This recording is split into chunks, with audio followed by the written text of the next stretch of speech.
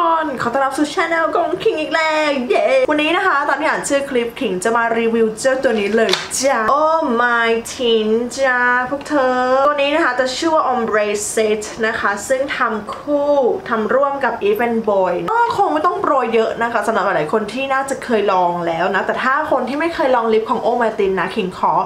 ขายนิดนึงแล้วกันแต่ต้องบอกว่าคลิปนี้ no sponsor นะคะ ลักษณะเด่นของเขาก็คือเนื้อที่นุ่ม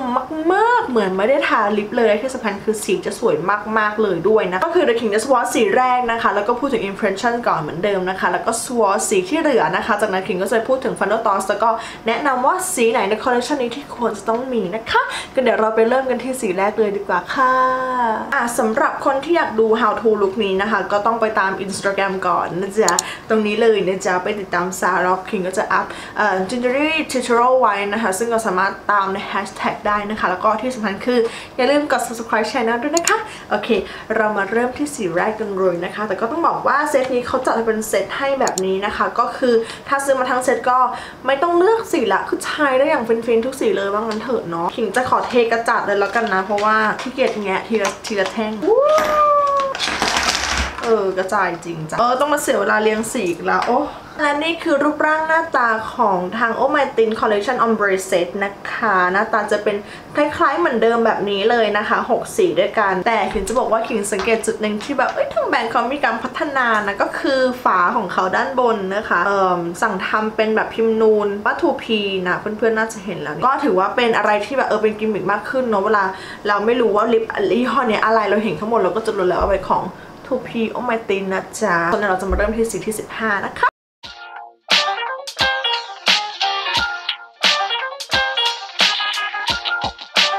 สิ่งแรกที่ขิงสังเกตเลยนะคะ คือกลิ่น มีกลิ่นที่ออกหวานหวานขนมเหมือนเดิมแต่ว่าแรงข้อสีแรกก็สวยนะ มันจะเป็นนูดน้ำตาลน้ำตาลนะคะขิงก็รู้สึกว่ามันก็ไม่ได้แบบโหนูดจืดเหมือนของคาร์ดิเชียนอะไรอย่างงี้นะแต่ว่ามันไม่ค่อย cover ตัวสีปากเท่าไหร่นะคะ ต้องทาประมาณแบบว่า 3 รอบถึงจะกลบสีปากที่เป็น สีดำอะสีเข้มได้นะคะ เหมือนเดิมค่ะนุ่มลื่นส o t h นะคะ ทานง่ายแล้วก็ทานแล้วไม่รู้สึกหนักปากเหมือนเดิมรู้สึกเหมือนไม่ได้ทาอะไรเหมือนเดิมนะคะอ่านี่คือสี 15 โอเค นี่คือ first impression คร่าวๆนะคะสำหรับลิปสีแรกสีที่ 15 นะ เออมันก็ดูสวยแต่ว่ามันก็ดูจืดนะควรจะแบบมิกซ์เออแต่ถ้าเกิดใส่นูดก็คือเออได้เลยอะคือสวยเลยนะจ๊ะเดี๋ยวเราจะไปต่อสีที่ 16 ถึงสีที่ 20 นะคะ แล้วก็เดี๋ยวมาดูกันนะคะสำหรับ Final Thoughts ว่าขิงคิดยังไงกับลิปรุ่นนี้ของ Oh My Tin นะคะ แล้วก็มีสีไหนบ้างที่ขิงแนะนำเนาะไปดูกันเลยค่ะ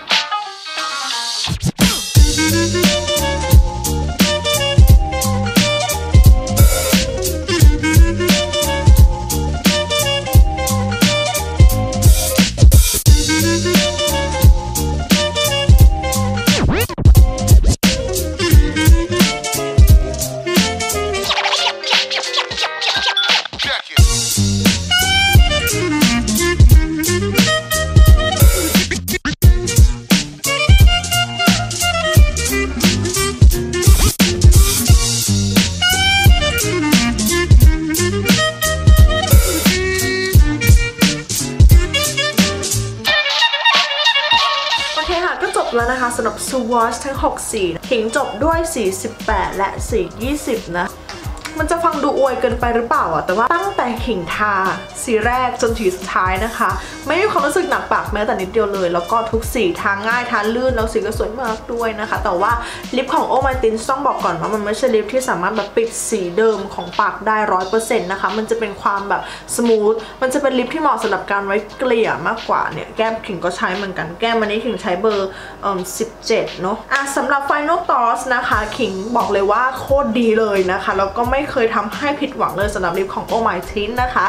ก็ทั้ง 6 เฉดสีนะคะ มีแค่เพียงสีที่ 15 เท่านั้นที่ขิงมองว่าเอออาจจะอ่อนเกินไปแล้วคนที่ผิวแทนเนี่ยอาจจะใช้ไม่ได้แต่จริงๆแล้วนะ ถ้าเอาสีนี้ไว้ mix คู่กับสีอื่นอย่างเงี้ยค่ะ มันก็ไปกันได้มันก็อยู่กันได้เนอะไหมมันก็จะทำให้แบบมันไม่ชมพูเกินไป มันก็จะมีความนูดดรอปไว้บ้างนะคะ ซึ่งแบบอันนี้ขิงให้ 10 10 เต็มไปเลยจ้าก็ไปหาตามกันได้นะคะ ตามเพจของเขาหรือว่าตัวแทนน่าจะจัดจำหน่ายด้วยนะคะ แล้วก็ Even Boy ด้วยนะนะคะอะเดี๋ยวเราไปดูกันว่าขิงแนะนำเฉดสีไหนบ้างค่ะ ในโหมดของ recommend นะคะจริงอยากจะแนะนำให้ซื้อทั้ง 6 เฉดสีซื้อเป็นกิฟต์เป็นบ็อกเซตไปเลยจบๆไปเลยนะจ๊ะแต่ว่าอะเดี๋ยวมันจะดูแบบโหพี่ขิงก็อวยอยู่นั่นแหละนะ เพราะฉะนั้นงานนี้เราจะแนะนำสามสีด้วยกันนะคะ สีแรกคือสีที่15นะคะสีที่ 15 นะคะ ก็เป็นสีที่แบบควรจะมีไว้เพื่อการเบลนด์โดยเฉพาะนะคะ แล้วก็สำหรับเพื่อนๆที่อาจจะไม่ชอบโทนสีออกชมพูออกแดงออกส้มอย่างเงี้ยโทนนูนน้ำตาลอันนี้พูดได้เลยว่าเป็นสีโทนนุดน้ำตาลแท่งเดียวของโอมาตินเลยนะ เพราะว่าขิงมีทุกสีของเขานะคะ แล้วก็บอกเลยว่า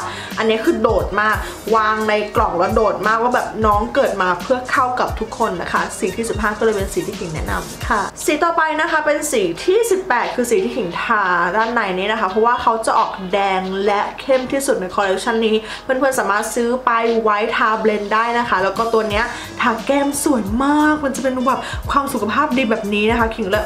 ตัวนี้น่าสนใจน่ามีนะคะ ไว้แบบ mix and match ได้กับสี15นะคะสีสุดท้ายค่ะสีที่ 20 ก็คือสีที่ขิงทารอบนอกนะคะ สีนี้จะออกแบบชมพูนมนมบัวๆหน่อยนะ มันจะไม่แบบจัดจ้านมาก ไว้ทาเบรกก็ได้หรือวันไหนเราไม่อยากทานูเราไม่อยากทา mix ก็เอาสีที่ 20เนี่ยนะคะทา เดี่ยวๆปิดจ็อบเกลี่ยฟุ้งๆ แค่นั้นก็น่าจะโอเคแล้วนะคะอะประมาณนี้สำหรับสาวซีรีคิงแนะนำนะคะ 15 18 20 นะคะ แล้วก็ตัวนี้ควรจะต้องมีอย่างน้อยสักแท่ง 2 แท่งก็ได้ไปลองดูว่าถ้าชอบก็ลองตามมาไว้ในครอบครองนะคะ โอเค ประมาณนี้สำหรับรีวิวของ Oh My Tin Set Ombre นะคะ ก็อย่าลืมกด subscribe channel ด้วยกดกระดิ่งด้วยนะจ๊ะ แล้วก็อย่าลืมติดตาม Instagram ของพิงด้วยนะคะเวลามีวิดีโออะไรมาใหม่จะได้ไม่พลาดกันนะคะ แล้วก็อย่าลืมติดตามชม How to Look นี้นะคิงจับลงใน IG นะคะ โอเค ก็ไว้เจอกันใหม่ในคลิปวิดีโอคราวหน้าแล้วกันค่ะสำหรับวันนี้สวัสดีค่ะ